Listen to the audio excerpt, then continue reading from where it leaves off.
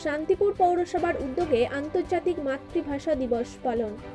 শান্তিপুর পৌরসভার উদ্যোগে আজ আন্তর্জাতিক মাতৃভাষা দিবস, ভাষা আন্দোলনের শহীদদের প্রতি শ্রদ্ধাজ্ঞ জানিয়ে গান, কবিতা এবং নানান স্মৃতিচারণা করা হয় শান্তিপুর ডাকঘর ভাষা আন্দোলনের শহীদ তোরণে।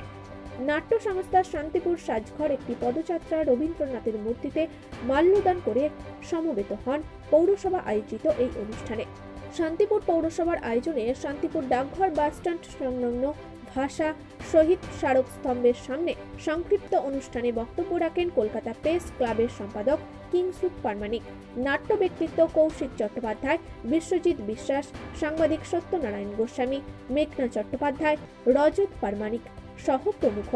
কবিতা আবৃত্তি করেন প্রমিতা মুখার্জি, পুনম গোস্বামী, বন্যা ব্যানার্জি প্রমুখ। সম্পূর্ণ অনুষ্ঠানটি সঞ্চালনা করেন শান্তিপুর পৌরসভার প্রধান করণিক উদয়ন মুখোপাধ্যায়। একুশে ফেব্রুয়ারি বাংলাদেশ সহ পশ্চিমবঙ্গ তথা সমস্ত বাংলা ভাষা ব্যবহারকারী জনগণের গৌরবজল একটি দিন। এটি শহীদ দিবস ও আন্তর্জাতিক মাতৃভাষা দিবস হিসাবেও সুপরিচিত। বাঙালি জনগণের ভাষা আন্দোলনের মর্মন্ত ও গৌরবোজ্জ্বল স্মৃতি বিজড়িত একটি দিন হিসাবে চিহ্নিত হয়ে আছে। উনিশশো সালের এই দিনে বাংলাকে পূর্ব পাকিস্তানের অন্যতম রাষ্ট্রভাষা করার দাবিতে আন্দোলনরত ছাত্রদের উপর পুলিশের গুলি বর্ষণের অনেক তরুণ শহীদ হন। তাদের মধ্যে অন্যতম হল রফিক, জব্বার, সাফিকুল আল সালাম বরকত সহ অনেকেই। তাই এই দিনটি শহীদ দিবস হিসাবে চিহ্নিত হয়ে আছে। পাঁচই আগস্ট দু খ্রিস্টাব্দে জাতীয় সংঘ কর্তৃক গৃহীত সিদ্ধান্ত মোতাবেকে প্রতি বছর একুশে ফেব্রুয়ারি বিশ্বব্যাপী আন্তর্জাতিক মাতৃভাষা দিবস পালন করা হয়। কথা শুনে বলে তোমরা কি শান্তিপুরে? তারা ভাষার সুর শুনে এটা বুঝতে পারে। এবং পৃথিবীর বিভিন্ন জায়গাতে বাংলাদেশ সরকারও শান্তিপুরের ভাষাকে একটা মান্য ভাষার হিসেবে মান্য করবার জন্য নির্দেশ দিয়েছে। কিন্তু ভাষা তো বেঁচে থাকে মানুষের ব্যবহারে। ক্রমশ এমন দিন আসছে, এমন একটা সংস্কৃতি আমাদের চারপাশকে ঘিরে ধরছে, যেখানে আমরা নিজেদের ভাষা ভুলে যাচ্ছি, সংস্কৃতি ভুলে যাচ্ছি। আর নোয়াম চমস্কি বলেছিলেন যে যখন আমার সংস্কৃতি বিনষ্ট হয়, যখন আমার ভেতরের আত্মা নষ্ট হতে থাকে অন্য সংস্কৃতির দ্বারা তার প্রথম আগ্রাসন ঘটে ভাষার ক্ষেত্রে। আমাদের মুখের ভাষা পাল্টে যায়। এখন আমরা যে বাংলা বলি টেলিভিশনে যে বাংলা খবর পড়া হয়, যে নানা রকম অ্যাঙ্কারিং হয়, সেখানে যে বাংলা বলা হয়, সেগুলো অনেকটাই হিন্দি ঘেঁষা হিন্দি শব্দ, হিন্দি ভোকাবুলারি হিন্দি শব্দ এবং তার সুর, তার ব্যবহার এমন করে ঘিরে ধরছে, সেখানে বাংলা ভাষা আবার নতুন করে ফেটে একসময় উর্দু ভাষা চাপিয়ে দেওয়া হয়েছিল, আজকে চাপিয়ে দিতে হয় না।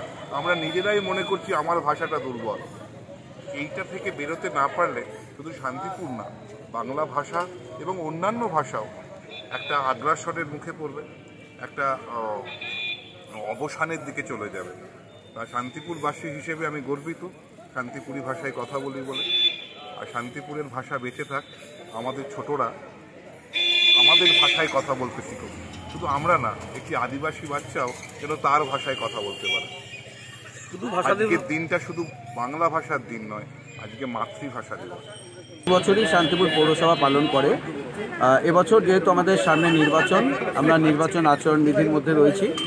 তাই কোনো রকম রাজনৈতিক ব্যক্তিত্বকে না ডেকে শুধুমাত্র সাংস্কৃতিক এবং সামাজিক সংগঠন তাদেরকে শান্তিপুর পৌরসভার পক্ষ থেকে আহ্বান জানিয়ে আমরা প্রতি বছরের মতো এবছরও এই ভাষা শহীদ দিবস পালন করলাম।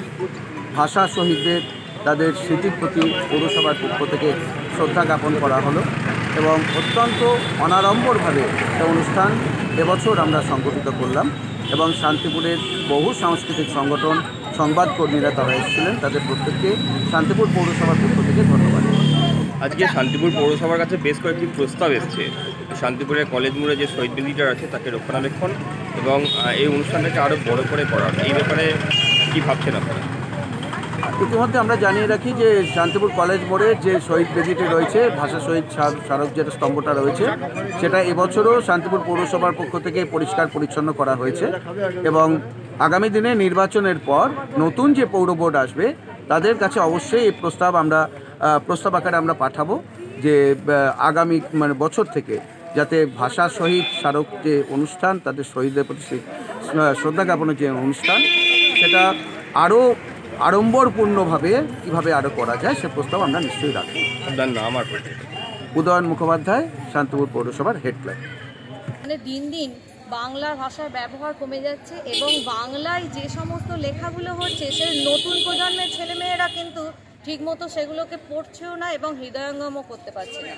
ইংরেজি যতই হোক আন্তর্জাতিক ভাষা এটা প্রশাসনিক ক্ষেত্রে ব্যবহার হয় শিখতে হবেই ঠিকই। কিন্তু এখনও পর্যন্ত বাংলা ভাষায় পৃথিবীতে অনেক লোক কথা বলেন এবং একটা আস্ত দেশ রয়েছে যেটাতে সকলেই প্রায় বাংলায় কথা বলে। আমরা এই ভাষাতে লিখি, পড়ি, কথা বলি এবং নতুন প্রজন্মকে যাতে আমরা উৎসাহিত করতে পারি এটা করার জন্য, এটা আমাদের অবশ্যই সবার আগে দেখা উচিত। আমরা নিজেরা একুশে ফেব্রুয়ারি পালন করছি, এই দিনকে অনেক বাংলা ভাষা সম্বন্ধে ভালো কথা বলছি, কিন্তু আমরা আমাদের দৈনন্দিন জীবনে কিন্তু সেটার প্রতি ঠিক শ্রদ্ধা রাখতে পারছি না। ছেলে মেয়েকে ঠিকমতো সেই বাংলা পড়াতে উৎসাহিত করতে পারছি না। আমাদের এখন মানে সামনে লক্ষ্য হওয়া উচিত যে কীভাবে বাংলা ভাষাটাকে বাঁচিয়ে রাখতে পারব নতুন প্রজন্মের মধ্যে তার কোনো পন্থা আপনারা ভেবেছেন? হ্যাঁ অবশ্যই। তাদেরকে বাংলা বই কিনে দেওয়ার জন্য পড়তে উৎসাহিত করতে হবে। বাংলা যে লাইব্রেরিগুলো আছে এখন কিন্তু ছেলেমেয়েরা সেখানে যায় না। কিন্তু ই বুকে এখন যেতে মানে ফোনেও যেটা পাওয়া যায় ই বুক যেটা সেটাতেও কিন্তু বাংলায় পড়ার জন্য আমরা উৎসাহিত করা আমাদের ছেলে মেয়েদেরকে অন্তত। আমি ইংলিশ মিডিয়ামে পড়াইনি বাংলাতেই পড়াই। এবং তাদেরকে উৎসাহ হ্যাঁ লিখতেও তাদেরকে উৎসাহিত উৎসাহ দিচ্ছি যে যাতে বাংলাটা তারা হ্যাঁ। প্রবন্ধ লেখো কিছু তোমাদের হ্যাঁ। মনের ভাব প্রকাশ করো। লেখার প্র্যাকটিসটা রাখছি। আমার ছেলে ইংলিশ মিডিয়ামে যদিও পড়েছে তবুও তারা কিন্তু সমস্ত বাংলা সব কিছু লিখতে বলতে এবং খুব স্বাচ্ছন্দ্য পারে। Malay De report Times Bangla.